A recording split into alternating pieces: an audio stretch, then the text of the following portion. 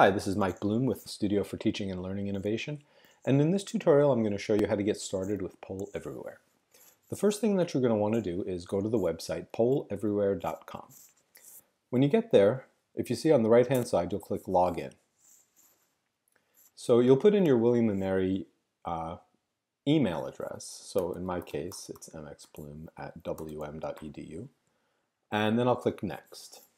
So what will happen is you'll get another pop-up that says login with William and Mary. You click on that,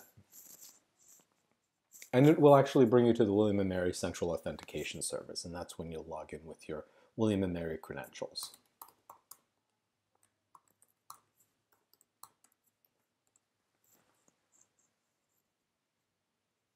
And that's it. Now you've logged in to Poll Everywhere.